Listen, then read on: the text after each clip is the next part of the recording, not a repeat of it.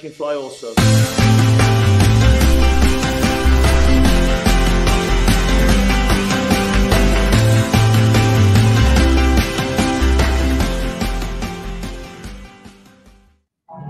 Charlotte Soccer Show.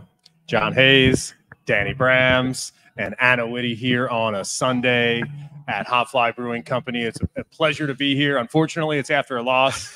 It's a 1 0 loss. It's Charlotte FC's first loss of the season. It was bound to happen. So, Danny Brams, I'm taking the viewpoint today that let's just get it out of the way. I mean, we weren't going to go undefeated, right? We got to admit that we weren't going to go undefeated. Uh, thank you, John. Welcome, Anna. Welcome, welcome, tifos around the world for watching. We appreciate you all.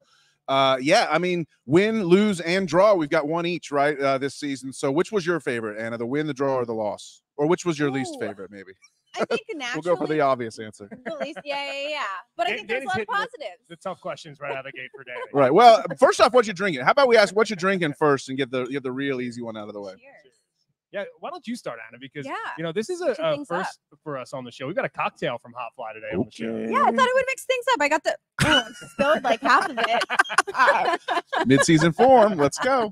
the Queen Queen City Paloma. It's really good. I love it. Highly recommend. Yeah, It's fresh, light, beautiful day in Charlotte. Why not? Paloma means dove in Spanish. It's it's a beautiful day, Translates and when you think about it, Danny, right? Uh, a sip of tequila the, the morning after, or the afternoon after a loss Yeah. is not the worst Yeah. idea in the world. The It's wings of the dove, baby. Let's go. We've It's got the same thing. Extra time, maybe we're trying to kick this cat. We're trying to kick the keg of extra time. Basically, I just have not stopped drinking this ever since they released it. It's very, very good. I had about ten of them on the uh, Vancouver night. I only had about six yesterday, so cut myself back. Just held myself back just a little bit, but uh, it was matinee. You know, it was a good time. But thanks to everyone who showed up at HopFly. We had a really good time Oh, partying with tifos and Yes. watching the match, and it was good vibe. And like, I'm really digging the warehouse vibe scene. Some people are not going to like this, but I kind of like how when we watch these games, they've got the audio. I don't think it was on purpose. I think it might have been an accident, but the way the audio setup works is you just hear the crowd noise and the cheering, and they don't have the announcer track. Some people might want the announcer track. I actually really dig the vibe of like just sort of being able to watch and decide. Don't have to listen to an announcer's analysis. I can decide what I want, but I can hear the stadium and the natural sound, and it's a good vibe. So watch party has been great. Unfortunately, result was not great. And we were all feeling it. Everybody here was like, "Oh, this is. We're like, "It's a great vibe," and then a freaking wonder strike just kind of silenced us all. Well, that, that's our first comment on the on the show today. Is is let's just get that out of the way. Haha. If Yes. it had to happen, I can't even be mad about losing on a goal like that. It happens. it What's was- up, it was Latin a- Fire? It was a wonder goal. Uh, from Insigne, and we we might as well. I love a good celebration. I hate when a when a celebration like that is against Charlotte FC, but it was a wonder strike, and it was even a better celebration. Uh, a moment for Toronto FC, and what was their home opener? Mhm. Even though we always want Charlotte FC to get the result, you can't hate on them for that moment, can you? No. And also on a goal like that, the fact that Insigne can duke everyone in that moment and hit that strike. I think you mentioned the celebration. My favorite was when he to Herdman Yo, me too. and Mhm. and just like celebrated with him. What a cool moment It for was an them. awesome moment. Excited for Toronto. But yeah, I mean, man, Herdman's doing some good things up there. We heard Yeah. we heard about in the in the in the warm up in the week previ- previous. Excuse me, Kaylyn Kyle was bragging up her old coach, and mhm. he gave us a uh, uh, he showed us some things. Man, Toronto's tactics were nice. They played the false nine. They confused us. They they switched things up, got a little more aggressive in the second half. What you heard Herdman commented on it post game about how how they needed to be able to they were giving up the central part of the field against us and but when they changed that that's when they found more success. So credit to us for being difficult to play against. We obviously even when you lose you the the mission the mantra of dean smith has said we want to make this team difficult to play against and i think that's uh, he's achieved that. He's accomplished that for sure. Toronto now it's unfortunate to lose to toronto because even though they have yet to concede this year they only have two goals this year and they're both like Insigne wonder strikes to the top right corner, Yeah. like upper 90. Like that's the only way they can score. In fact, we'll hear from Dean Smith later. He said, I think that's the only way they would have scored against us. So it's a little bit frustrating, but we just have to take it. But we can try to build on the positives. I guess we really want to get into there's kind of a controversy, different takes about whether was the goal just a goal, wonder strike that like you can never defend, or was it bad defense by Charlotte? Should we have known that a guy like Insigne wants to do that run in from the left wing to, and put the, put the ball on his right foot? Was it poor defending? Uh, we've heard, we've seen some different takes. Well, let's watch the, the play. And You re- should we tee it up? debate after. yeah, let's do it. All right. If you already, ha- I'm sure you all had this playing in your uh, head on a loop last night in your nightmares, but we're going to play it for you one more time. Nardeski He's aiming at Insigne. Who was just loitering with intent at the top of the 18. Insigne. Insigne unleashes the ball! Spectacular! Listen to this place roar! Lorenzo Insigne with venom! We talked about Insigne's ability to make up magic out of nothing, but he conjures this up from all the way from Naples, Italy, here in Toronto to the top corner. My goodness, this is beautiful. Cuts in, and oh, yes, there is no goalkeeper in the world that's keeping this out here. He's working on the weekend like usual. Lorenzo Insigne, number 24, jumps into the hands of his new manager. Salute. Ugh. there was that celebration. Ugh. It's hard not to be happy for uh, a great player like Insigne and, and, and a coach that honestly that I really respect. I like Herdman. Yeah, Uh, I do. Yeah. As the Canadian uh, men's national team manager, I, I think Canada was playing unbelievably well heading into that World Cup. Something happened, I don't know what, but he's now at, at Toronto. Mhm. But for me, that's that's just what you know, Danny Brams. When I'm thinking about how I want to set up defensively, Mhm. right? I, what I really want to do is make sure that Scotty Arfield is subbed on the pitch and that he's marking the most dangerous player. you sound is that a sarcasm? That sounds like sarcasm, Johnny. I don't know. I don't know. Let's let's take a look at this and maybe maybe break it down a little bit. It starts off a corner, and and you'll hear we will play Dean's reaction to, this, to all this and Westwood's reaction to this, but like this looks pretty good, right? Starting like clearing a corner, Kerwin gets a nice kick at it, and it's like okay, we're good, right? But then just didn't uh didn't continue the defense, I guess you would say. What do you guys see here? I think Charlotte FC just lazily stepped off their line. It was a little too slow. And the second piece watches Arfield. He really wants to keep Insigne in the wide areas, but because he was two or three steps off of him and he's such an elite forward, he's not able to keep him wide. He's able to cut inside because his touch is so tight. And right, then our right there, that's caught- that feels like the moment, right yeah, there. and then there was the two v one. Vargas could have slid, slid out there and stopped. the right. Var- if coming in. Vargas is standing where the referee is there, then it's a little bit harder for sure if he starts to play there. So when it's a great strike. space, yeah, and and and that's where you have your help. So Arfield wasn't necessarily wrong in that moment if it was me Mm-hmm. attacking, but when it's Insigne, he's going to take that strike If- exactly when he sees the moment. If I'm watching this as a fan and I'm just I see uh, my team defend a corner and the guy at the top of the box kicks it out deep, I'm thinking, okay, boom, we're good. We just defend the corner. Okay, let me It shocks me we're giving him a goal five seconds later. Let me but you're getting organized. let me jump in here, right? Please do. And I think Anna is spot on here. I I, I don't necessarily I wouldn't use the term laziness. What I would say is is that the keeper's job in that situation is to make sure that the back line steps way outside. Yeah. the box, Mhm. right. You need to make sure that you are stepping two, three yards outside the box. The ball is now cleared and forcing the- all of these. There's six players, by the way, uh, for Toronto FC nearing the edge of the box when this ball is is struck, right? and Mhm. you've got an, a, a back line that is not in uh, uh, in formation. They're not Mm-mm. uh, in line together there. That's the one thing that I'm I'm being yeah. Well, critical about, right? I mean, the- I think I that the think back line could have stepped out and We- maybe worried about an offside. We've gotten- not necessarily hang back. I'm sorry. We got nine players behind the ball here. Well, also to John's point, if everyone steps, they're keeping everyone in an offside position. And if you're stepped higher, you're closer to the ball, you're likely to stop it before it becomes dangerous for the goalkeeper. So I think if if the goalkeeper, if the entire back line of Privett and Malanda got everyone stepped just a few seconds earlier, that shot could have been blocked and Arfield would have had better help. That was my point. And, Yeah. and, and I and I was the one that put out the tweet from our account this morning. Let me just raise my hand on that because I love it. sometimes uh, you put out a tweet and people disagree and want to go back and forth. I and love they it. don't know whether it's Danny or I or I that sent it. It was definitely me this morning. And what I said was I just felt like uh, there was no where was the help in the middle? Yeah. Who wanted to step outside the box and help Scott? Poor Scotty Arfield sitting there one Right. one And on poor Christian wing. Kahlina. He's 35 years old Yeah. against one of the best players in MLS, and he just didn't get the job done. And there was just nobody there to help him. And that, Yeah. that to me, I think is, I, I called out two players. I said, "Where's Patrick Agyemang? Mhm. Where's the striker? Right, the striker has the ability to just kind of hang out in that area right outside the top of the edge of the box. Right. And where's Brecht Dejaegere, the Mhm. number 10 as well, who takes up an area. And Brecht Dejaegere was was wide here. Patrick Agyemang was sitting super deep. I want both of those players to step up. Yeah, and Aji's in the really bo- help Aji's in the this- box this there. situation. Well, also there's so many heads like shifting. They're trying to figure out where their mark is in that moment, knowing Insigne is going to take that shot. If it doesn't go in the goal, there's going to be that second shot opportunity. So you want to make sure the people running in are marked. There's so much happening in that moment that if Arfield could have just kept him in the wide areas, it would have given his team a 2nd to Mhm. collect themselves. But I mean, Insigne is such an elite forward, and, and that's why it's such a wonder goal, is because he's so excellent at taking advantage of teams when they're not defensively set. You think it could be the goal of the year in MLS? I mean, it's- it's, Absolutely. in the running for sure. Yeah, absolutely. At week three, I mean, why not? I and I don't think Charlotte should be disappointed in just like a, a second turnoff. I think overall the game was really good on their part, but that happens in a 90 plus minute game, you know? I appreciate you saying that because Yeah. uh, at HopFly here, of course, uh, Charlotte Soccer Show presented by HopFly, an amazing party, as, as Danny mentioned, for this away match yesterday in partnership with the Mint City Collective. La Muerte was here as well. Shout out to them uh, for hanging out.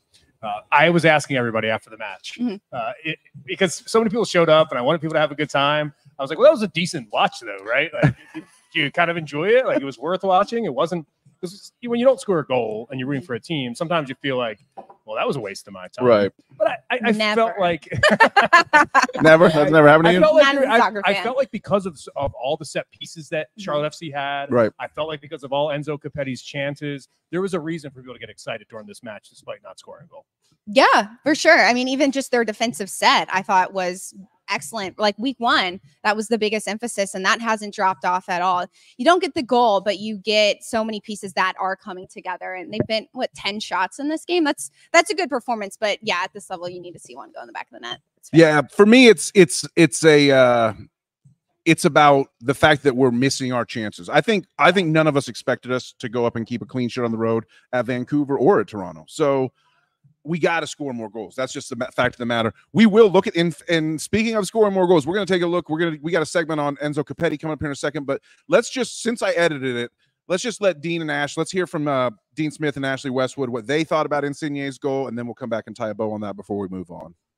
Yeah, it was a game that was won by a wonder goal. Um, you know, my reflection now is that we didn't deserve to lose the game, um, but we didn't deserve to win it as well. I thought we were by far the better team in the first half, um, you know, but they were slightly better than us in the second half. And, uh, you know, unfortunately, you know, when it is that even, one moment of brilliance can, can win it, and it did today. First half, we were the better side. It felt like that. Second half, we just come away a bit. I think I think I think a draw was a fair result. But like I said, they just we've we've, we've been beat by a by a worldie of a goal, and you just have to hold your hands up sometimes. But we, it was good. There was some good good signs out there, and like I said, we're a group that are that are working hard, sticking together, and it's just it's one of the things that these things happen in football. You just just got to hold your hands up. You got beat by a bit of a bit of magic, and like I said, first half we were. I think we did enough to to be in front. Yeah, I, I think they've had probably seven or eight shots from outside the box from 25 yards that, you know, supporters have been getting hit on the head with. So, you know, sometimes, unfortunately, you know, he puts one into the top corner. He, he's done that for a number of years. Uh, he is a quality player. We wanted him to be coming into traffic, but I think it was second phase from a from a corner. Um, they'd actually messed up the corner. I think Kerwin tried to get hold of it, and he they ended up uh, picking up the second ball, but it was it was a superb finish, and uh, you know I, f- I felt that was the only way they were going to score against us, to be honest. There you have it.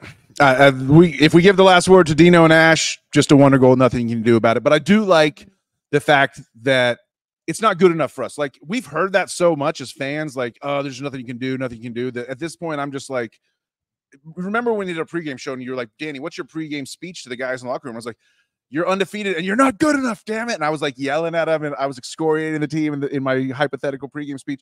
And that's how I feel right now is just like, it's not good enough to just say, oh, we were beaten by a wonder strike when there's clearly obvious defensive lapses and there's things you could learn. I just, I, it's fine for Dean and them to say that at the press conference. I hope they're saying something different when they go to the film session. Yeah. I think Keegan made a really good point in the comments. It's really hard to Keegan's defend a forward coming across in the midfield. Like Arfield's foot positioning, his footwork really had to change in that moment. He also had to be aware of who could help him if he should have Mhm. maybe dove a little bit with his leg for that stop. So that was a really a really good point. You have to be like athletically able to. If run anyone should be familiar with Lorenzo Insigne's game on this club, it should be Scott Arfield, right? Yeah. Yeah, Scott, Scott Champions League. of course, knows how to defend in this situation. But I'll just Yeah. go back to my original point, even though it was I was being satirical, is the fact that if I were to choose the worst person put in that situation on the squad of the 11 players that were on the field, Scott Arfield would have been the worst player in Yeah. with that situation. Yeah. He's just not at this stage in his career Mhm. coming onto the pitch with 20 minutes left in the match to play defense. Right. Well, you can see it. He's playing a step off because he knows he can't do it. Right. To your point. Exactly. He Yeah. needs he needs space. He can get Right. I bet he wishes he would have forced him wide though, instead of letting him lean in. I wish he would. I mean, sure. I'm sure he's thinking, okay, force him wide. Don't let him get across on that left. And it's just like, Hindsight's Yeah. 2020. yeah, unfortunate. Wait, is that the saying? Hindsight's 2020? Yeah. Yes. Yeah. Okay. Nice, nice. I like that. Just making sure. So okay, so we gave up the goal, right? And it was late, and we had done had such we'd been difficult to play against. We had some really nice defensive organization, and that's where we get to my where I think the problem is with this team and where this team needs to go really focus on in in the next coming weeks here as we go to Nashville and then bring it home against two really tough teams. We got to score more goals. We're getting the chances. We've got to score more goals, and I gotta. We got to call out our DP. Uh, Copetti's the, the man. I got a pretty sad little highlight rip here that I want to play, and then I want to tee you guys up and see what y'all think about it. All right. Six. Vargas punched away. Into the. Copetti. Lovely footwork from the Portuguese into Copetti. Copetti around. There's no appeal from the Argentine. Check by VAR. And here's the play. Tavares comes in and plays an absolute peach of a ball here to the Argentine striker. And Gavran comes off his line. Does he get a touch to the ball or the striker? Yeah, it looks like landing gear from Copetti. Gavran does a good job to make sure that he doesn't get a touch in on the Argentine. The correct one according to you, Jalil Anibaba. Good feet there from Barash That's a difficult ball in through the lines from Alanda. Again, a very good ball. Charlotte's off to Westwood to Copetti. Copetti's away from the defender. Saved by Gavran and poked away by. I, I couldn't even bring myself to put a replay of that last one because it made me so mad. No, just kidding. I would have put it, but it, they didn't provide it to me in the highlight package. But that last one is bad. What do you guys think of just what we just saw there? I, I want to hear from Anna on that big chance missed, that that final highlight that we saw. But I, I do want to address the the pen, the penalty that was called that went to to VAR Right. in the box. Um, was it a penalty on the field?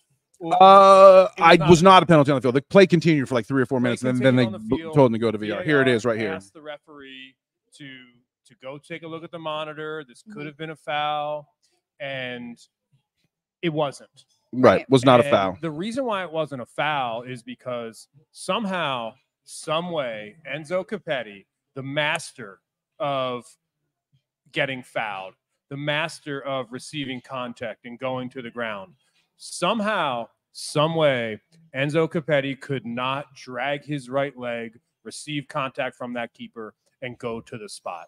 And I bring this up because things are starting to add up for me when it comes to Enzo Copetti.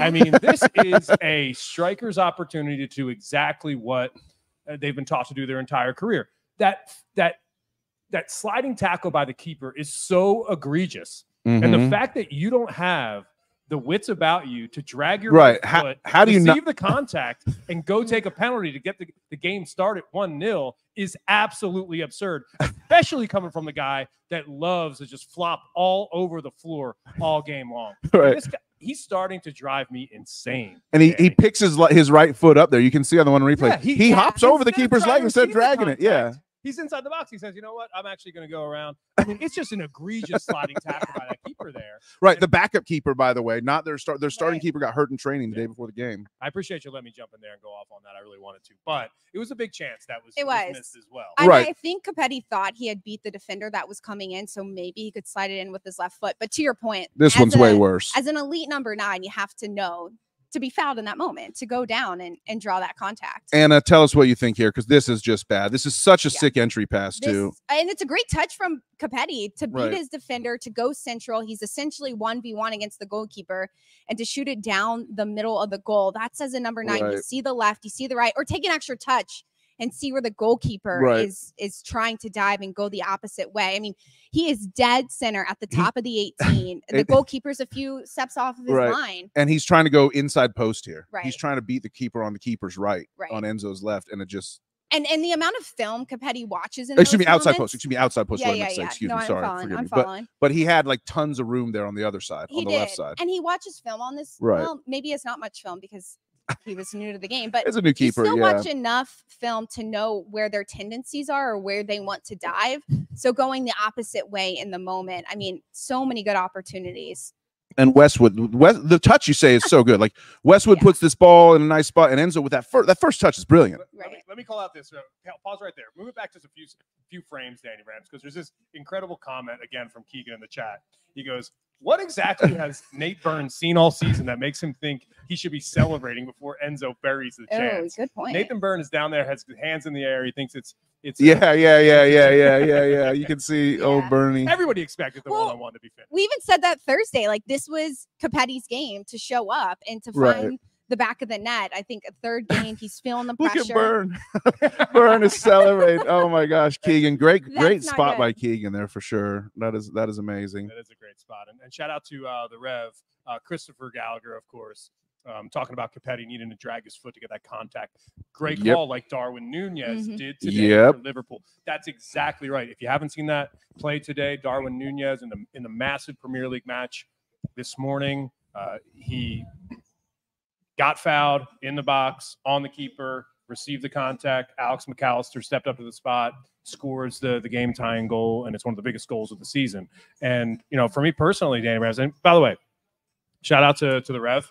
He brought us some incredible. He brought us these this incredible gift yesterday to the party where Danny Danny Brams and I could be Thank you, handing Chris. out uh, red cards and yellow cards Right. as well. T- Do you want to go through the list of yellow cards that you? Uh, yeah, John actually issued some yellow cards and wrote them down he in, wrote in 'em his book. Yeah, yeah, yeah, yeah. with the little Well, pencil he gave Yeah, you. with the pencil. Yeah. How cute. pencil, just like exactly right. So there's Right. two things that I wrote down. And um, the first one is that Matt Geslin got a yellow card as well. Acting like a Um, general general jackassery, right? Yes, Yeah, yes. yeah, yeah. And, and by the way, Matt, thank you so much for Right. all the photos and Amazing all stuff. your help at the party as well. It was it was one of those. It was a professional yellow on his part for sure. It's like, Sure, Yeah, nothing nothing against him, but Enzo Copetti, yellow card as well for those big chance missed. we know And why. who's number 99 on Toronto? Right, number 99 on Toronto. He's the he's the he's the player that caused, in my opinion, Prince Osei Owusu. Oh, all the yes. all the ruckus at the end of the match. I, Mhm. I felt like he deserved a yellow in this match for sure. And unfortunately, I've got Ashley Westwood down here as well. It just seemed like Ashley Westwood was absolutely cooked at the end of this match. And by the way, it seemed like he was cooked in that press conference as well. Uh, not great vibes in that Well- in that press conference after the match. I've got one more. Oh. Uh, the yellow card for set pieces as well. So many corners. I think there was eight Right. or nine corners. seven, I Seven- think. seven corners. Yeah, I mean that's a lot. Yeah. And and in my opinion, if, if Charlotte FC has seven or eight or nine Right. corners on a day, you got to score off. Well, little bit. Urso just missed. Urso had the glancing header go just wide. Privett had a, a head headed shot on goal that could have gone in and was saved. We saw the little the triple the the I don't know what we'd call that the ball that was off Brecht's head, off Addy's head, uh, over to uh, Enzo, and he heads it to the goalkeeper. So we had like three shots on goal off set pieces, just none of them went in. So Right. don't love that. You mentioned uh, Westwood, maybe his press conference. Let's listen to a little more of what Westwood and Dean had to say. This is them talking about first half chances and sp- specifically Enzo and just what we need to do better. any trip on the road is tough, like I said. But we, but we come here, come here today, and we've we've give a good give a good account of ourselves. And like I said, we should have should have maybe got something in the first half, and then we would have. I think we would have seen it out. He's, he's not upset with his performance, and he shouldn't be. Um, he'll be upset that he didn't score because he had a big chance. Um, you know, and the referee got called over as well. He made some really good runs, and that's what we want him to do. Um, you know, because the referee was called over as well for another VAR, VAR incident. I haven't seen him back, so I don't know. Um, you know, but as I said before, if he keeps making good runs, then he'll get good chances. You know, but he has to start taking them as well. But, but, but, Uh, shout out to everybody in the, in the comments who are hitting us up about our audio. Um, I'll speak louder. I have no problem Right. speaking louder. I'm just eating the mic. Danny's Yeah, boo- that's my- booming his his mouth in here, um, and I we can definitely get into that and and uh, talk a little louder. Yes, folks. Yeah. we, this is a um, a bare bones production. I think we do our production pretty well too. By the yeah, way, for, absolutely. for the three of us just Right. hanging out here at HopFly on a well, you Sunday know, afternoon. hey, it's all you guys. and then we don't charge a subscription fee. You know, so uh, you get a full refund if you don't like the audio, no doubt. And we might even buy you some beers as well. Mhm. Uh, Joe or Gar- cocktails. Yeah, or cocktails. Yeah, Yeah. cheers. Um, hanging out. So, so what did you make of, of what Dean Smith said there, Danny, post game? Did, did you think that he is somebody that is starting to see cracks in the foundation Yeah. of his squad? Well, remember what uh, what he said at the very beginning of the season, even before Swiderski left. He said he said Enzo and Karol are designated players, but they're not my designated players. They got to prove themselves to me. And Karol didn't, and Karol was shipped out. And Enzo's been getting his chances, but he's not taking his chances. And as Pat's as uh, Dean said there, it's a big, big deal. Um, uh, I think he's covering for Enzo. I do think Enzo, his XG on the year is about is about at one. Yeah. So it's like he should be ha- like I feel like he should have three goals already. I think he should have scored in every single game so far. He easily he had the blown chances against Toronto and Vancouver, and he should have Yes, taken the penalty that's against New correct. York. So Yeah. Enzo should be seeing on three, maybe four goals if, if we get into those floodgates open situations. He's doing good work. He's getting decent player ratings. He's earning praise for his off the ball work, but he's hired, he's paid to score, Score goals. goals. And it's like off the ball work is nice. You need it, but like a lot of people can do that. Yeah. I thought, I mean, I don't know how what you guys think about XGs. I read a, a very interesting book, and when I remember what the title is, I'll share about XG and how it works and the people who created it and what they look for. But the game against Toronto, he had 0.28, which is terrible. He only had two shots. But you look at everyone around whom who created opportunities. Westwood was And- the only one who created three opportunities. I mean, the rest of the midfield didn't create anything for him. So Right. as much as you lean on a player like Copetti to score goals, this is a team sport and they do have to get the ball. I mean, in the first half, they only had actually throughout the whole game, they had 40% of the possession, which is fairly okay. But in order for Copetti to score and get better opportunities, Charlotte has to win the ball a little bit higher up the field. And that's what we saw Smith doing. Like he was screaming, step, get higher. He really wanted the uh, forwards to step on Toronto's back line to win the ball, to create those better opportunities and to get that XG higher. So it's everyone, but I agree. Like, I mean, Copetti still has to show up. For what it's worth, that's exactly why Anna Witte is here on the show because as I'm sitting here bitching and moaning about our number nine not scoring and and thinking about this as a, a singular issue for the squad, Anna, the real soccer analyst, you bring up a great point. And when I when I think back to the match, right, other than the the crosses, Mhm. not a lot of oh, excuse me, other than the corners, Yeah, yeah. not a lot of crosses into Right. the box Right. from midfield positions Right. at all. Right. Dejaegere, a guy that I've chose to hopefully be the MVP of the season of the se- team this season, has been mostly invisible, has not really delivered. I know he's doing work out there. I've liked his hustle. I really liked his hustle in the opener against New York, but I need to see more from him. This is a guy that I was out there telling people was going to be our best player this year. Yeah, I mean, looking at Fought Mob, Dejaegere only had seven passes in the final third. That's From your 10, Right. you need You you, need that, like yeah. 20. Right. I think in order to create for Copetti, I mean, yes, he's a nine, and I won't, uh, you know, repeat myself, but they have to be better in between the lines and they have to be better in the final third of the field. Defensively, I think they're set. It's just getting the Mhm. front four, front five on a similar page. I mean, Brecht's numbers look like a, a six to me, not a 10, you know, that, or- or, maybe an eight. But I mean, you look, he's got, you know, more fouls than he was fouled. Yep. He's, he's got more tackles than dribbles. And it's just, it gets to the point where it's like, you know, Two it- touches in yeah, the I- opposition box. right. And I like, not even a shot. I like the heat map. I don't hate the heat map, but I don't love the heat map. If he's a number 10 and his two red spots are on the wings, again, right. our whole Great issue is we didn't want Dejaegere on the wings. We want him to be playing centrally more this year. So I don't know. I, I- we need to see more. I need to see more from the guy. Yeah, I mean, I, th- I think we're cutting through the bullshit right now. I think this has been a really good segment, and I think it's been a sobering segment. And this doesn't mean that things are are going poorly. It does not mean that that Charlotte FC is is in a spiral right now. I think what it means is that after getting three points to start the season and having to go play a really really tough road match at Vancouver, one of the longest trips, the longest trip of the season, The You longest possible trip we could Yeah. make. you, you feel good about that coming Right. back to Charlotte, but then you got to go back up to Canada again.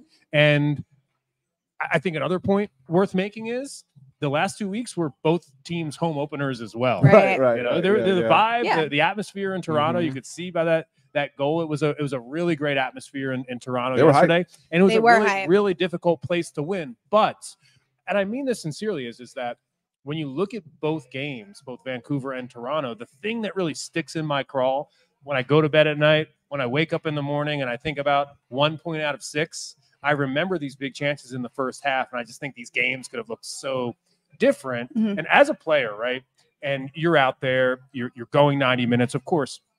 In the Premier League specifically, Mhm. there's this uh, there's a stat this season where so many goals are happening after 85 minutes. that aside, right? There's going to be a lot of goals scored at the end of games, but when you can score goals in the first half, Yeah. right? When you can cash one in, when you can go into halftime feeling good about yourself, all of a sudden you feel the confidence to go back out there. Two games in a row now where Charlotte FC concedes heading into halftime Mhm. and also goes into halftime with without any goals. Yeah. What can you do in the first half to make sure that you're you're scoring goals and giving confidence to your squad? you have to dominate the possession a little bit more.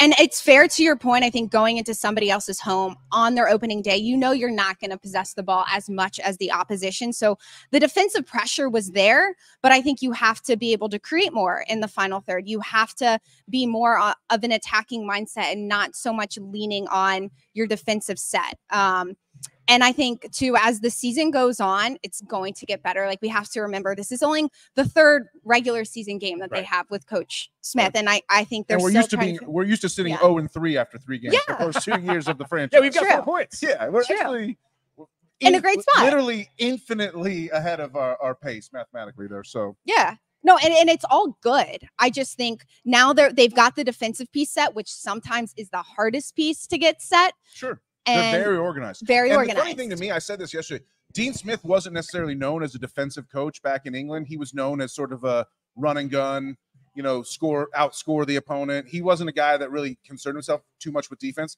But just by having a little bit of English Premier League pedigree and coming in here and just like doing the basics, he's already improved our defense without hardly even making it his big focus. I think And- that's great. and I think MLS is naturally a transitional league, so we're used to seeing like them teams trying to get forward really quickly and break lines. Charlotte's made that really difficult for other teams to do because of that defensive pressure. That's how they got their goal last week. Was they stepped, they they cornered Vancouver in the corner, they won the ball back, they put the ball in the box, and then a Tavares goal. A great cross from Brecht. You know, he did have, you know, Yeah. he can cross it, folks. You know, we like to see it.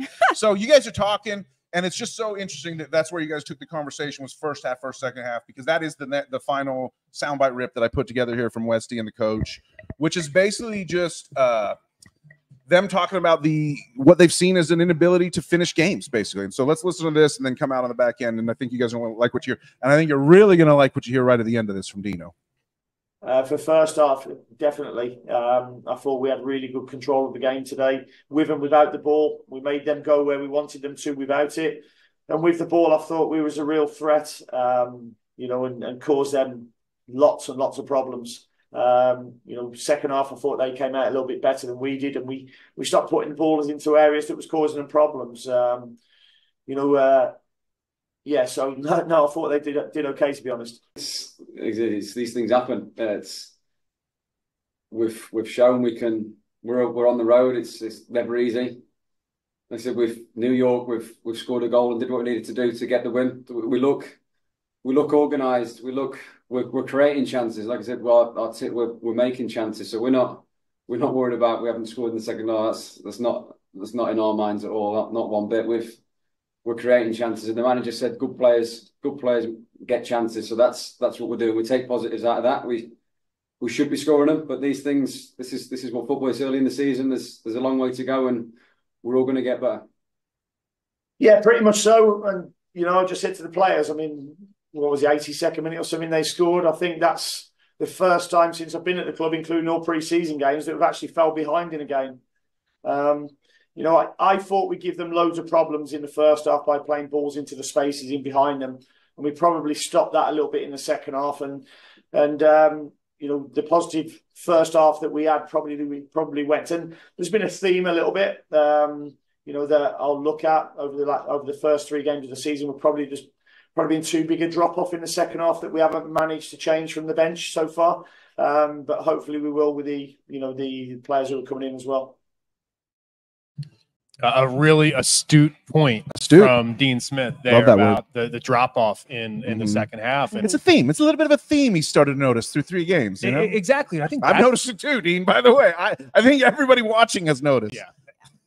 Patrick Agyemang. I think part of the reason why the drop off happens is because the substitutes are not doing a good job off the bench. Right. It just is what it is at this point. I don't want to make a referendum on the the bench at this moment, but what I'll say is is that Scotty Arfield obviously did not do a good job against Insigne. Nope. Uh, for and Patrick Agyemang has come out now two games in a row Fluffed and his has made, and made no impact whatsoever. So Mhm. Dean Smith is right. There's a theme, but how do you fix it?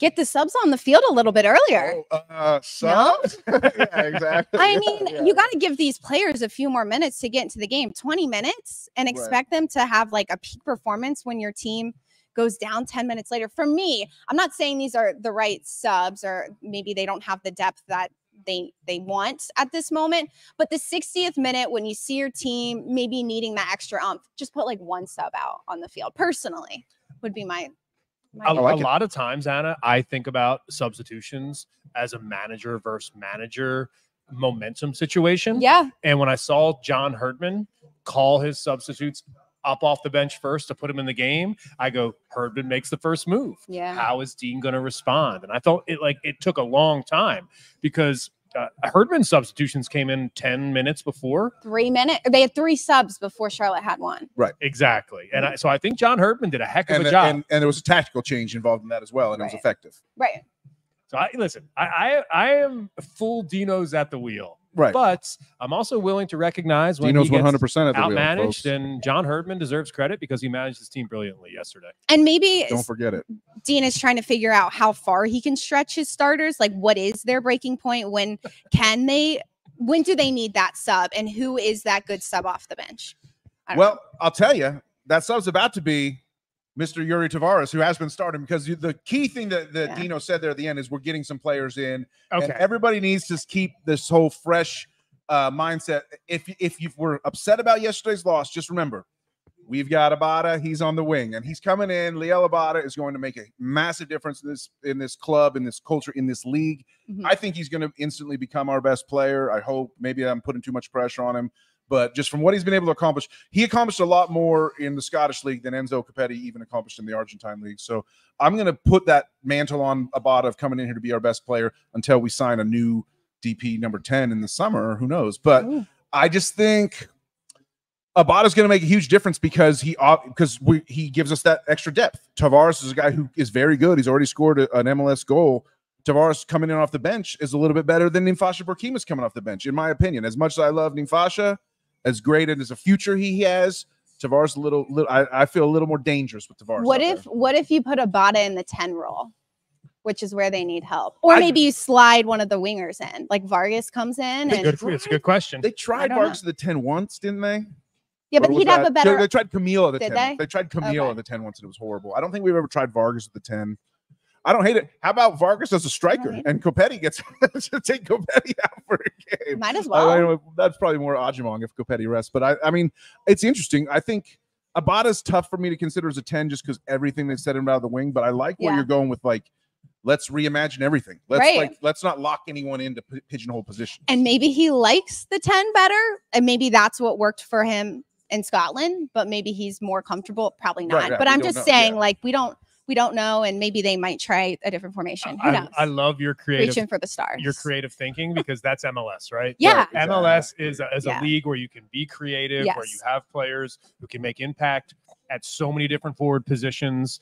Because when you have a skill set, when you have talent that Mhm. is so much better than maybe the rest of the league, and at this Mhm. point, based on what we've heard, Liel Abada is somebody that was potentially set for a move to the English Premier Right. League. Everton, In a year Crystal or two? Palace, yeah. Mm-hmm. If he's the type of player that's coming into Charlotte FC, even though he's a traditional right winger, and that's where I- I'd love to see him play and play directly. If he has any interest in playing the 10, why not give him a look Yeah. there too? sure And and help him build out his profile as a complete player. I would like to see him as as doing what Denis Bouanga does for LAFC, which is a winger who just does everything. And especially now that Vela has left their team, like I just think he can have that type of impact. Like he is a winger, but we once again we want the ball at his feet, and uh, he is a little bit of a tap in merchant also. But he got a lot of assists, so like let's give him the ball and let's make sure that the what we the one thing I cannot have I cannot have Liel Abada show up and let we assume his his debut is going to be a home debut against uh, Cincinnati in two weeks. I can't have him show up and like not be getting passes. It's like every pass, the first 50 passes of the match need to be from whoever's got the ball pass to Leo. That's that's where I'm at right now. So Get him comfortable. that would be Get the good ball. yeah Get him comfortable. Yeah. There's, there's there's nothing like a new player getting into a squad Right. and feeling comfortable on the Mhm. ball. Touches really matter. They do. Right, When you have those touches, touches, when you get those touches. touches, especially in the final third, it just builds confidence. So yeah it's, it's been a pleasure hanging out with y'all on the show today. Yeah. Don't worry, we've got more to come. We're not done. Eh, Anna Witte is here. I need of to course. catch up. You guys like I look over and you've already drank your We're entire drinking beer. You've got to pull over. You, Scoreboard. Let's, No. let- let's check the scoreboard here. I was pretty weak the other week I'm too. done. I'm So done. I'm done. No, Johnny's on number two though. I'm on number one. So uh, it's it's a Sunday show at HopFly. This is uh, something that we really enjoy doing. We appreciate everybody being here live. What we're going to do on the other side is we're going to come back. We're going to give you an MLS scoreboard update, some interesting scores today Sunday in the results. league, as well as yesterday. Two, shout out McKinze Gaines. three games in, Danny. And I am now interested in talking about the table on the show, Oh, which is oh, the super table. exciting. We love the I- I, table. I waited till three games to, to start talking about the table. We're going to do that. And we're going to highlight a Charlotte FC player that is not getting enough attention. He's a classy player. We're going to discuss him next. It's Charlotte Soccer Show. We're back after this.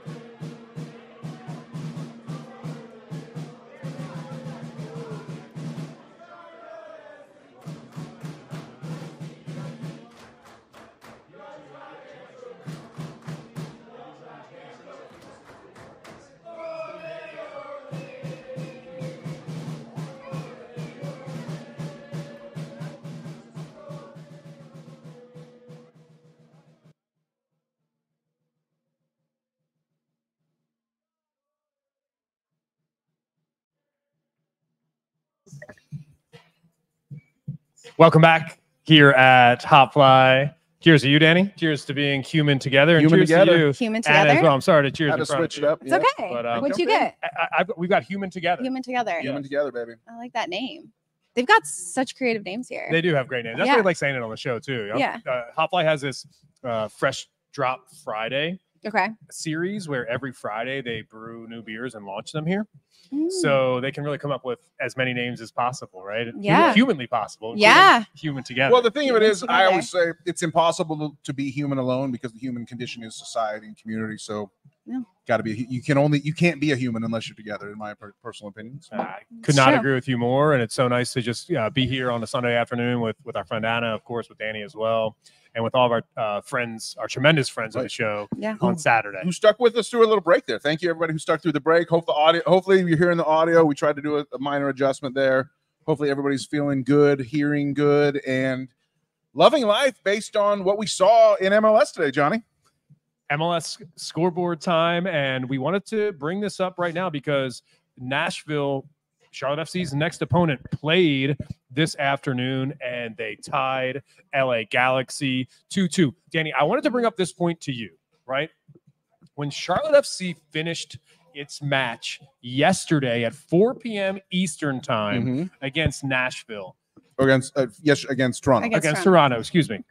Nashville still had 180 minutes of football to play Right. before we meet them on Saturday and we like that. in the Music City. I think that really bodes well for Charlotte FC. Well, they got another what? 90 minutes? Oh, you're right. Sorry, yeah. 180. So another one Yes. Wednesday. yes. Sorry. exactly. I, wa- the math wasn't mathing for me there. It's all right. You got But there. I It's- got there. It doesn't matter how long it takes to get there. Just get there. At That's least I I'm always here. Yeah, sure. yeah. No, that is a huge plus, especially when Charlotte has to stay on the road. They're traveling again to Nashville. Um, I think that's always something that you have in your back pocket that you have a few days ahead region wise Right. and game planning. And even though we're going on the road, and Nashville played a total clown car lineup today, they played all subs. Uh, they started McKinze Gaines, who has not been a starter for them normally. He got an assist. We love you, McKinze. Come on the show. Um, always for a hashtag forever the crown, McKinze Gaines. But he got an assist today in their 2-2 draw. I think they were up they were up 2-0. I think they conceded two late ones uh, Mhm. to, to draw. That's Good. good. because if you looked at the table today, Yeah. even after our loss against Toronto, if you look at the Eastern Conference table today, Charlotte FC's in a playoff spot and Nashville's not. So I know we're going on the road to their place, but with the extra games and the banged up injuries and them not real, they keep rotating their goalkeepers between Joe Willis and Elliot Panicco. We have to feel like this is another chance to go up and get points on the road. And every time Charlotte FC drops three points on a weekend, Mhm.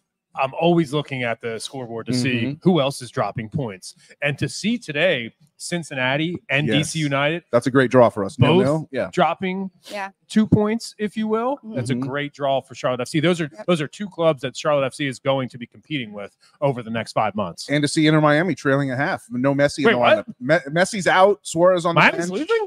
Miami's losing. Ariel Lassiter with the assist, son of Roy. Uh, Roy Lassiter, a name that you might become familiar with here in the next week. But I think it's time, Johnny. Now you said you don't like to do this too early, but I think it's time to look at the table. I mentioned, I referenced it, and I it's crazy to think that we're or we're in playoff position. It's good, good feeling. I, I've got thoughts on this table. You can see Charlotte FC right there in the eighth position, which is the play-in match. I would very much prefer to not have to do that again this season. A Yeah. play-in match against Atlanta would be pretty amazing. It, Yeah. it- it would be the ultimate uh, By the derby. way, just real quick, just quick mea culpa here. I got to do it. I did my banter with Atlanta when we had Kalen on the show. I said, aha, you just sleep when you need to catch up on sleep. You just turn on an Atlanta United game, you catch up on your sleep. They posted four goals against New England the, the other uh, on Saturday, including a hat trick from Giakoumakis. So I apologize, Atlanta. It's just banter. Get over it. I heard some shit being talked my way. Oh, Just because I'm having a little fun. Proceed. Yeah, I mean, there was. I, I woke up one morning. I looked at our notifications on X, and I saw some Atlanta fan trying to say that he was sleeping with my mother, and I was like, I don't think you have. anyway, here's the table, um, and I'm curious to get Adam's take on on this table right now. Yeah. Uh, obviously, someone that covers MLS as a whole. Uh, where does Charlotte kind of fit into this mix right now? It feels like it feels like a team based on what everybody said preseason that shouldn't be even there at this point. Yeah, I think in middle of the table really is a good spot to be. I, I think it's still really early where they're still, you could see they're tinkering with some things, especially in the attack, but you have to be happy that you're not at the bottom and you're not working up. I think the biggest thing to keep your eye on at this point is the goals for. Right now, Charlotte has two, Atlanta has four. And those become really important towards the end. I mean, Inter Miami sitting at the top with eight in the Eastern Conference. Um, points are important, but also making sure you're getting those goals outside of just the Yeah, we need Miami to lose this game. I- Yeah. I, I, I predicted that Miami would be a fringe playoff team with all their old guys. Because if Miami does lose- really. That's what you predicted. Uh, yeah, Why? Win, uh, win Farias. When, when, once Facundo Farias, their young guy that they signed, Yes. when he got injured and out for the year, I was like, they're not going to make it because because Suarez and Messi and Busquets, I don't think they'll hold up for the whole, Oh, full, I- full year. So we'll see. I don't know. We'll. I go against that. I'm going to say that right now, just to be a I, devil's oh, you advocate. should for sure. Yeah, on it. for Yeah, sure. I Like, think I, am they'll- just. It's a it's a bold take for me to predict Miami uh, is weak this year, but I really think they will be. I'm with. I'm with Anna for what it's worth, Yeah. and the reason why is because in MLS, I just kind of think that there's this uh, ace in the deck, if you will, when you have players that know how to score. Yeah, Yeah. when you have the best And, player Yeah. of all time. you, you yeah. saw it in the I get cha- it. You, you saw it in the Champions Cup Yep. this past week, where Luis Suarez at the end of the match knew exactly how to put one in Right. Mhm. uh, to get Miami uh, a result that, that they needed. and they had they know how to manage themselves. I mean, they had an, an insane preseason. Like soccer aside, they were traveling like crazy. And for them to be able to now put away eight goals, um, I know it's still the beginning of the season, but preseason, man, that takes a toll on people who are 36, 37 um, in this league. It does take a toll, and that's why some out there are predicting them to be a fringe playoff team. But uh, I'm saying to go a good way. looking down at the bottom of the table, kind of weird to me to see Orlando and New England uh, both sitting uh, at a minus six goal differential down at the bottom of the table. Whoa. Mhm. These are two teams that were predicted to be uh, up near the top of the table in terms of having some of the most talent on their squads. So still, there's still a lot of, of shape to be taken here from this table. But I got to say, it does feel pretty nice to be sitting in the middle of it instead of at the bottom of it. Totally. It's not even about the, the place on the table for me right now. It's Okay. a points. What is it It's about? about the points accumulation. Sure. And the goal and the reason why this Inter Miami Montreal match is so important. By the way, we're going to be done here in just a few minutes. So after we're done, you can switch over to that. Don't Yep. do that right now. but don't do it yet. No, we're still here. Thanks everyone for being here. If Miami does lose, Charlotte FC is three points off of first place in the Right, East. right, right, Right. And, and when you and when you think about it that way, I think that's the best way to think about the table. Yeah. At this point, so Yeah. that's your MLS table update. And Danny, we've got one final segment on the show tonight. Well, Sar- Charlotte is a soccer city, and there's a huge soccer match tonight. Well, there is. We're going to talk about USWFC. oh, wait, I'm sorry, I skipped Jumped one the gun. Yeah, I jumped You the gun. jumped the gun. We're going to get to that. Where Anna's going to give us a breakdown of the United States women's national team, their match tonight. That'll be a good one. But Gold first, I, what I Yeah. thought was important to do today is we are going to do a Jere Uronen appreciation hmm. segment. Jere. Jere Yay for Jere. Jere Uronen is at this point, three games in, the highest rated player on Charlotte FC's squad compared to the rest of the league. And when I was watching this match yesterday, I was absolutely I loved it. over the performance from the left back. Mhm. And a left back is a position that uh, you're pretty familiar Love with. it. That. right. My favorite. what, what have you seen from Jere so far this season? Well, he's extremely dynamic. And I mean that I mean that because he's so good at taking corner kicks, but he's also great at getting up and down the flank defensively, being set. He's really good when the game's in front of him. But those corner kicks, yeah, I mean, he was all over it. I, I think closing down what you mentioned it Thursday, Danny, like Toronto wants to use the flanks and, and get the ball inside. And he really lessened the opportunities that Privett and Malanda might be on their back foot. Um, and those corner kicks to go back to it, Right. seven corner kicks for this side, all of them were phenomenal. And he's got a high Yeah, ceiling. for I, I think it was an uh they wanted in swingers. I figured they probably Yeah. against a new keeper they just wanted to get some in swingers from the left, and that's why they took Kerwin. on- Kerwin Vargas had been on the right side of corner Right. kicks, kicking out swingers and and so, more, really kicking sort of a low flat ball. We saw that on the on the Tavares chance that led to the Malanda goal in week one. That was a, off a really nice corner from the right that Kerwin took.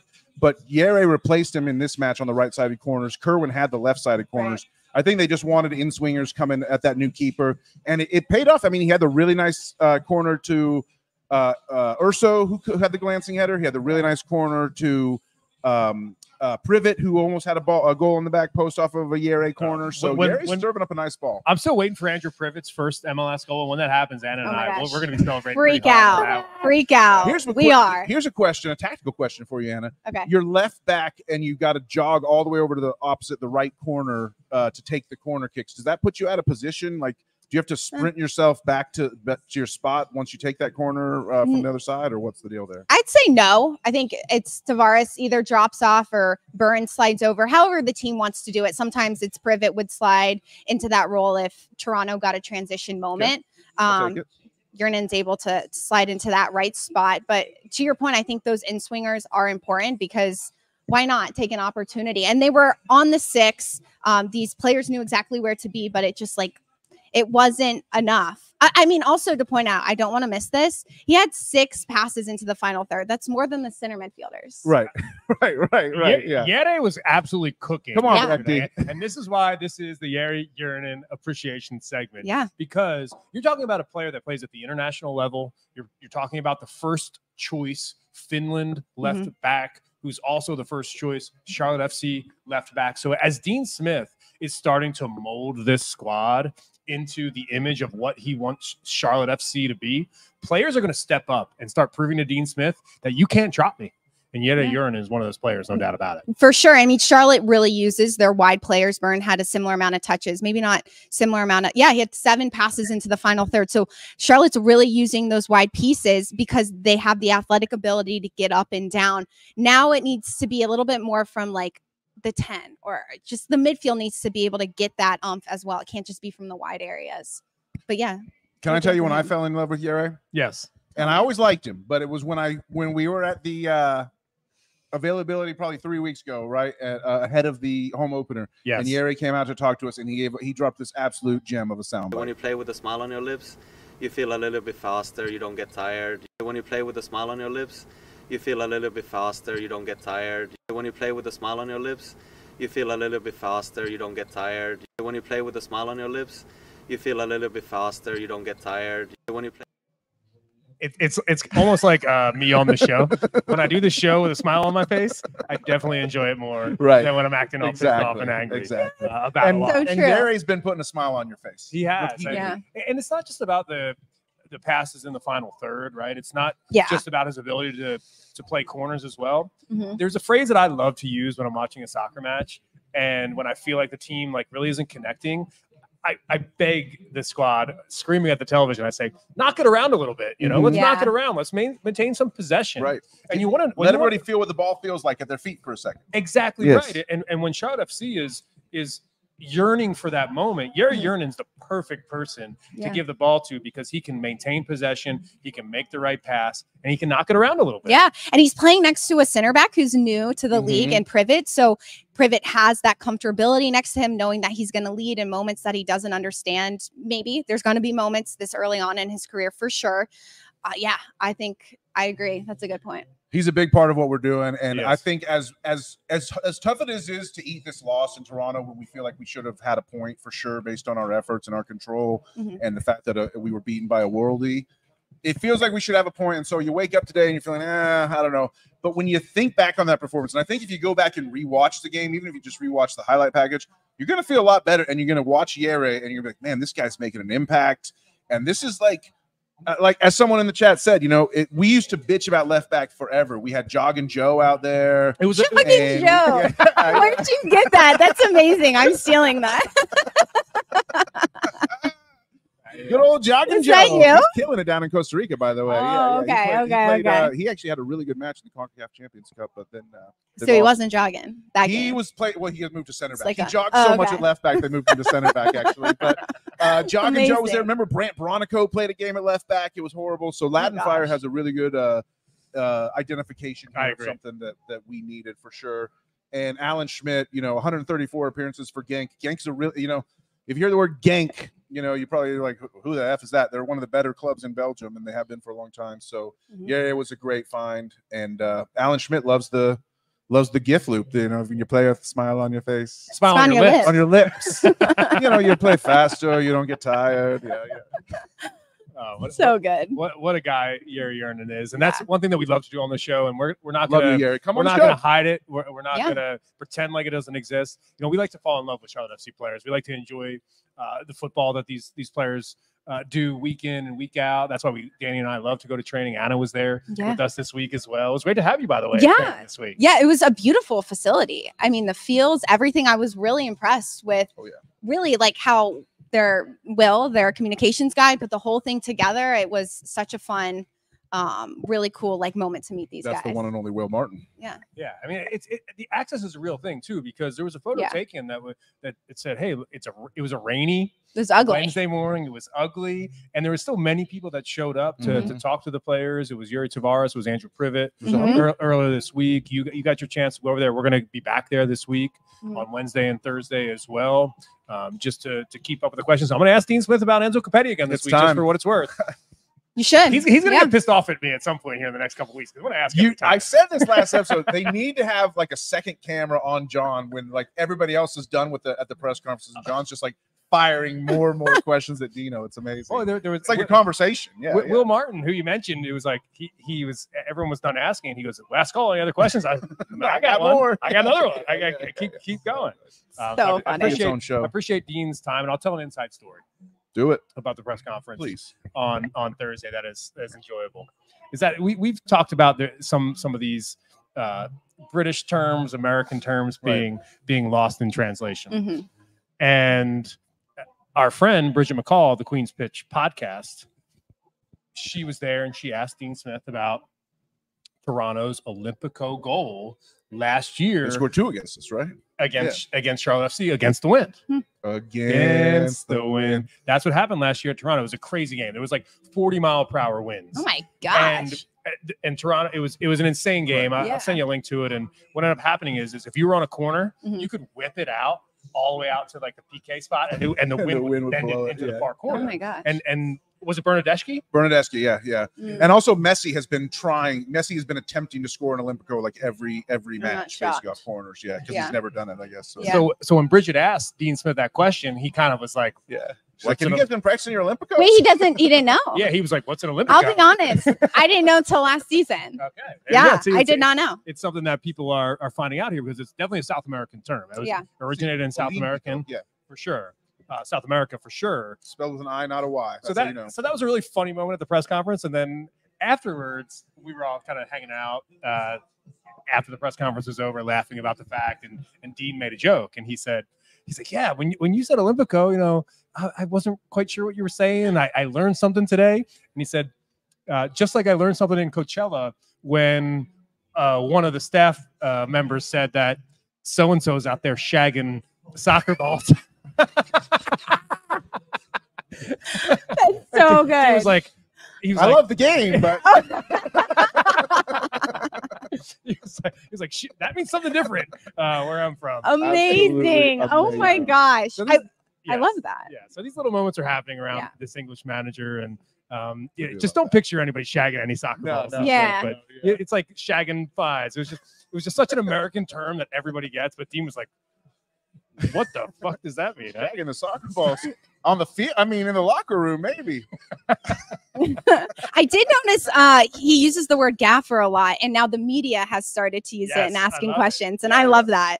Yeah, That's a fun word. and they start calling uh, Westwood Skipper also. I've Did noticed- they? I Yeah. didn't notice Yeah, that. the gaffer and the skipper. You know, captain, the coach, the gaffer, and the ca- and the skipper, whatever you want to call them. But Well, we've So got good. one more. Skip. I, I lied when I said we got one more segment. We had two more segments. We're gonna we're and gonna, end the that's sh- we're gonna end the show um, like the Patriots that we are. We're gonna talk Mm. about the United States Women's National Team Yeah. who is playing tonight. Yes, Anna, man. of course, is a NWSL expert. She's a play-by-play announcer, and analyst for NWSL as well. She's going to be working closely with the USL Super League here in Charlotte. We're waiting for the announcement of the, the team name. It should be coming soon. Actually, it's coming Yeah. this month.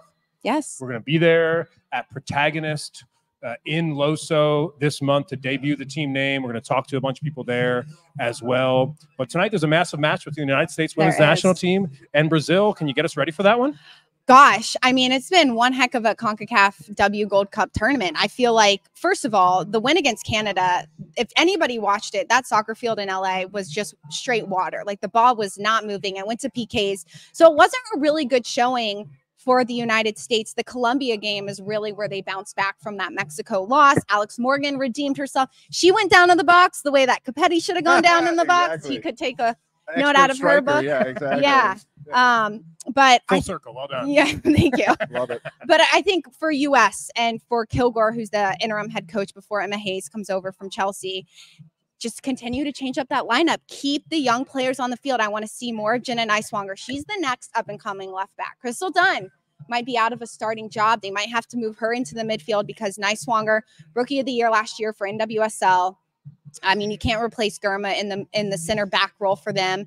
And gosh, I think it's going to be really exciting. Brazil has that tiki taka style of soccer. It's always really fun to watch. If you watch them in the World Cup, um, they had a pretty good performance. Brazil's got a couple NWSL to- stars also. They right? do. Ary Borges, who plays um, for Racing Louisville, Debinha, who's going to be probably playing up top. She plays for Kansas City, who's opening up the first ever women's soccer stadium this season, CPKC. Um, so yeah, there's some really talented players for Brazil. I think this is going to be a really good tactical match for the U.S. because in the World Cup they really struggled with their own tactics. This game is where they need to kind of figure out how to break down. Give us a guaranteed goal. Who's go- who's scoring the goal for the United Gosh. States tonight? if Alex Morgan continues in her form, I think she'll score a goal. I haven't been really impressed with her of late, but that Colombia game, I think she really redeemed herself. She wasn't even initially on the training camp roster. It's so funny to think of Alex Morgan. Like now, I know I'm old now that Alex Morgan is like the wily vet of the squad crazy. instead of like the young up and comer. But hey, what can I say? Yeah, I mean, gosh, maybe Jenna Nighswonger. she had a great goal against Colombia too, but we'll see. I thought about that earlier in the tournament when I saw the picture of the starting 11. I always enjoy those before the match. Oh yeah, When the 11 get together, they take the official photo. yeah. Love those. And I was So looking fun. at the squad and I Mhm. saw Alex Morgan. I said, look at her. You know, towards the end of her career, I know. still interested in playing. Um, she's she's coming off being a mother as well. Was Yeah. Her first child. That she's Charlie's her first kid. Yeah. yes, exactly right. So she she has a child. She comes back and she Mhm. says, you know, I want to finish my career and do so at Yeah. a high level and win a trophy. So for me, I'm, I'm circling Alex Morgan tonight. That's who I'm Yeah. watching. That's why I want to turn on the TV Yeah. and watch Alex. she's she's good in those moments where she knows she hasn't been great of late, but she needs to redeem herself. There's not many people I feel like in the gene. world in That's general. called clutch gene. Yeah, yeah, that's another new word I learned here today. Um, that Well, hey, can do this it. is the just like the the press conference room or at AHPP. This is the learning room. You know, just, you know anyone can Every learn, Sunday. sure, Yeah. So, uh, so it'll be a fun one. the match is 8.15 Eight tonight. fifteen, and it'll be in San Diego, but eight fifteen Eastern time, 8.15 Eastern. so we can all watch it. tonight. So we've got a Sunday night of soccer uh, in the QC. You can kick back on the couch tonight and watch the United States women's, women's national team. What, what Mhm. stage are they in the competition right This is the final. This Oh, for the yeah, I, did, I, did, not realize that. W Gold Cup. Okay, yeah, This is trophy Okay. I, did, This I did is not it. realize it was the final. time. Let's go win the gold yeah, yeah. cup. Why not? yeah. Why not? Let's go. Good- beat good Good presidents headed into the Olympics. This is what they need. They need that um By the way, I mentioned the USL Super League, Mhm. and I should mention that one of the assistants tonight on the bench is Philip Poole, who will Mhm. be the manager of the USL Super League tier, team here. Found the in Charlotte tie. I love it. Brilliant. Yeah. If, if, you Soccer want, City. if you want to get to know uh, Philip Poole, make sure you go back on our podcast feed. You can you can hear our interview. Great interview, listen with my them. interview Yeah. with with with Philip Poole as well, and Anna Yeah. I know is going to interview him soon as well here in town. Chief Kiefer says Alex has ice in her veins. She will always show up when needed. That was that basically what you were trying to say. Where does she rank though? As, as far as like oh you know United States women's national team players, Oh, okay. where does she rank as far as all time greats?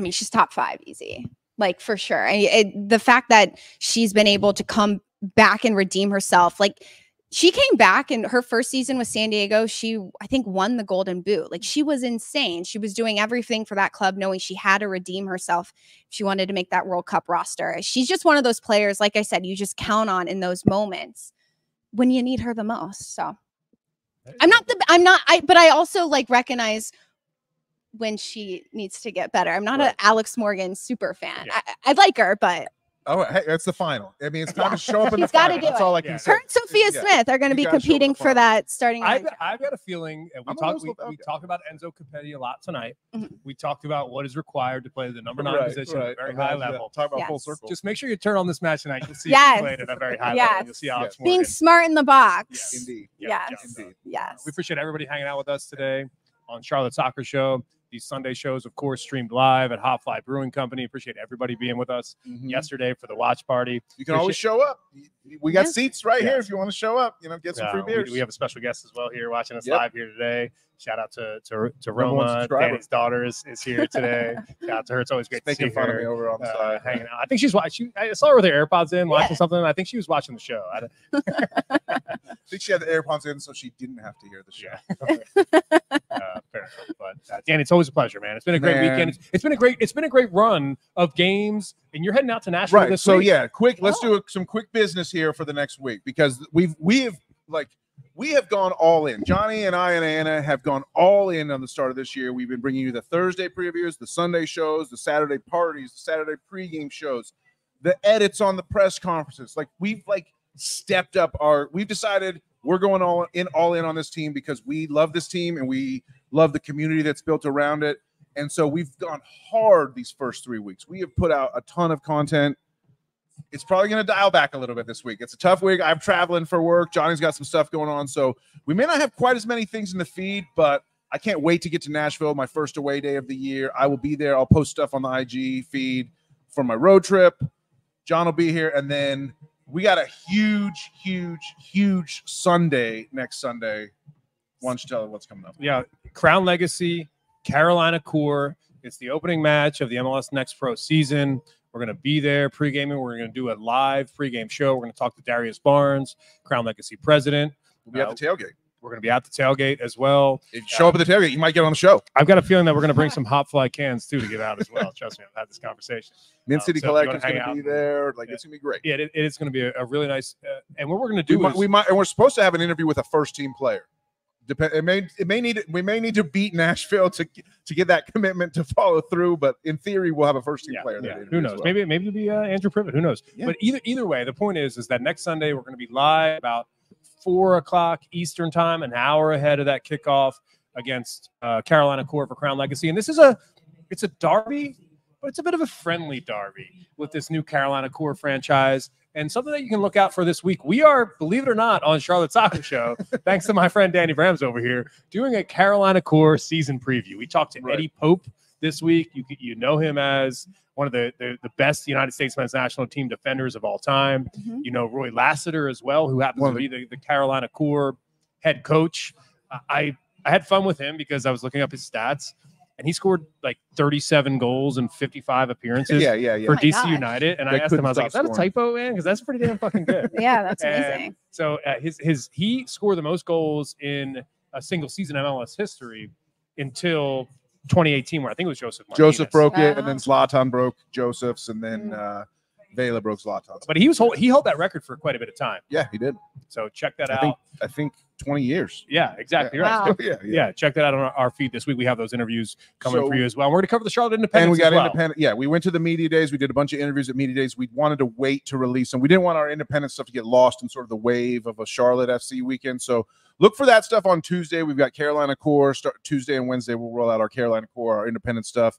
Independence debut next weekend. Legacy Core debut next weekend. Charlotte on the road. It's massive, man. NC Courage season NC kicks off this season kicks weekend. off. I mean, Or Carolina showing up. Carolina's a soccer state. It It is. is. It- the Carolinas are a soccer region. There's no doubt Yeah. about Yeah. that. What's on your schedule for the next week? I've got four NWSL games this upcoming weekend. Wow. Gosh, the I don't voice. even know The off voice the of top of my head, here. but I know go. Kansas City plays Portland Friday in their home opener in this brand new stadium in Kansas City. That's the only one I can tell you off the top of my head. Well, you, you can hear Anna all game by game weekend. basis. You know, it's Uh, it's a one Yeah, right? every every week. The, the, for so- sure. the, For point, sure. the point is, is that the soccer season is blooming here yes. in the Right. Carolinas, as is all the beautiful flowers. We went on. I, I Yes. got a chance going to walk today with my wife with our two dogs, and just looking around. It's it's that time of the year where it's early March, Yeah. and you pinch yourself and you say, "This is why I live in Charlotte." yeah, Yes. exactly. I It had is that beautiful. today. Eat your honey so you don't get those allergies. That's what they say. If you eat local honey, you won't have an allergy reaction. Thank not- you, thank That's you, what I'm bees. doing. Appreciate you. Yeah. Yeah, she's not going to give you. She's not just going to give you um, really intense soccer an- analysis. She's going to make you feel better at home as Yeah, well. Which is really medical nice. advice. That's me. He's Anna Witte. He's Daniel Bramlett. I'm John Hayes. And as always, For the crown, baby. baby,